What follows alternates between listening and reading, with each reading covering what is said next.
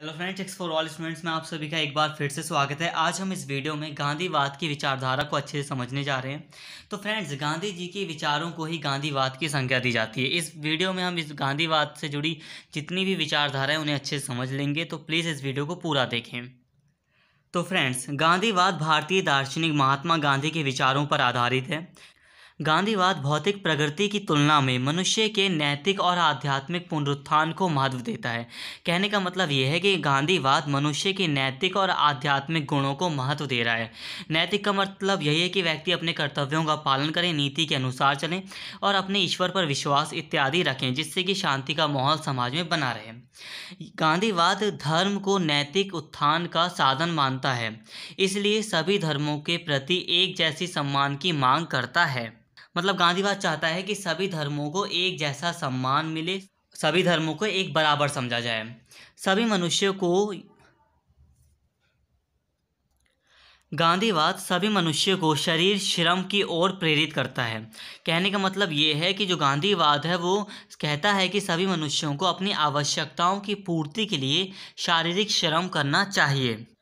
गांधीवाद साधारणतः भारी मशीनों के प्रयोग को बढ़ावा नहीं देता और प्रौद्योगिकी प्रधान उद्योगों की जगह श्रम प्रधान उद्योगों को वरीयता देता है, ताकि विशाल जनसंख्या को रोज़गार में लगाया जा सके। तो यहाँ पर गांधीवाद का विचार यह है कि जो बड़े उद्योग होते हैं, जिसमें ज़्यादा से ज़्यादा टेक्नोलॉजी प्रौद्योगिकी का प्रयोग होता है, उसमें क्या होता है कि जो मशीनें होती हैं, वो कई सारे मनुष्य का काम खुद ही कर लेती हैं, जिससे कि कई सारे लोगों को बेरोजगार कर दिया जाता है। तो यहाँ पर गांधी जी का विचार यही था कि श्रम प्रधान उद्योगों को ज़्यादा से ज़्यादा बढ़ावा दिया जाना चाहिए, जिससे कि लोगों को रोज़गार मिल सके। तो फ्रेंड्स, गांधीवाद में कई सारे शब्द प्रयोग होते हैं, जैसे कि स्वराज, सविनय अवज्ञा, सर्वोदय अहिंसा, सत्याग्रह, अपरिग्रह। तो इनको भी एक बार हम अच्छे से समझ लेते हैं क्योंकि ये गांधीवाद से जुड़े शब्द हैं। तो तो फ्रेंड्स, स्वराज के दो अर्थ हैं। पहला जो अर्थ है वो है व्यक्ति के स्तर पर और दूसरा अर्थ है राजनीति के स्तर पर। तो स्वराज का पहला अर्थ यह है कि व्यक्ति अपने आप को नैतिक रूप से सुदृढ़ कर सके, जिससे कि उसे असली मायने में सही अर्थ में स्वतंत्रता मिल सके। और जो दूसरा अर्थ है वो ये है कि विदेशी शासन से व्यक्ति को स्वाधीनता प्राप्त हो मतलब स्वतंत्रता प्राप्त हो, जिससे कि वो अपने राष्ट्र का निर्माण कर सके। और जो संविनय अवज्ञा और सत्याग्रह का सिद्धांत है, वो अहिंसा का सहारा लेकर किस तरह राजनीतिक विरोध किया जा सकता है, इस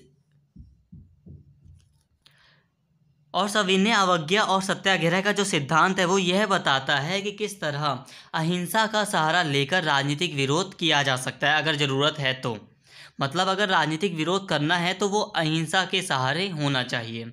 गांधीवाद से जुड़ा जो सर्वोदय का सिद्धांत है, वो ये कहता है कि जाति, धर्म या लिंग इत्यादि के आधार पर बिना किसी भेदभाव के सभी लोगों का कल्याण होना चाहिए। किसी के साथ किसी प्रकार का भेदभाव नहीं होना चाहिए, सभी का विकास होना चाहिए। तो अब हम बात करते हैं अहिंसा की, जो कि गांधीवाद का मूल मंत्र है। इसका अर्थ यह है कि कोई भी व्यक्ति कोई ऐसा कार्य ना करे जिससे किसी दूसरे व्यक्ति को परेशानी हो। और यह गांधीवाद का मूल मंत्र है। इसके बाद हम बात करते हैं अपरिग्रह की। अपरिग्रह का सिद्धांत यह कहता है कि कि व्यक्ति को समाज में उतना ही लेना चाहिए जो सामाजिक संपदा है, जो प्राकृतिक संपदा है, उससे उतना ही ग्रहण करना चाहिए जिस, जितनी उसको तात्कालिक आवश्यकता हो। यानी कि मान लीजिए अगर आज हमें, आज के टाइम पर अगर हमें तीन लीटर पानी की आवश्यकता है तो ऐसा ना हो कि हम तीस लीटर पानी इकट्ठा कर लें। जितनी हमें तात्कालिक आवश्यकता है, हमें उतना ही ग्रहण करना चाहिए। तो फ्रेंड्स गांधीवाद का विश्वास है कि जब सब मनुष्य अहिंसा का पाठ सीख जाएँगे, तब समाज में कोई कलह, संघर्ष, भय, अपराध नहीं रह जाएगा। कहने का मतलब ये है कि जो गांधीवाद का सिद्धांत है, वो एक शांतिपूर्ण सिद्धांत है, जो समाज में शांति की स्थापना करना चाहता है। जिसमें हमने देखा कि सभी को रोज़गार भी दिया जा सकता है, जिसमें हमने कई सारी शांति की बातों को भी समझा। तो फ्रेंड्स इस वीडियो में बस इतना ही, और अगर आपको वीडियो पसंद आई हो तो प्लीज़ चैनल को ज़रूर सब्सक्राइब करें, और इस वीडियो को ज़्यादा से ज़्यादा शेयर करें, लाइक करें। Thank you.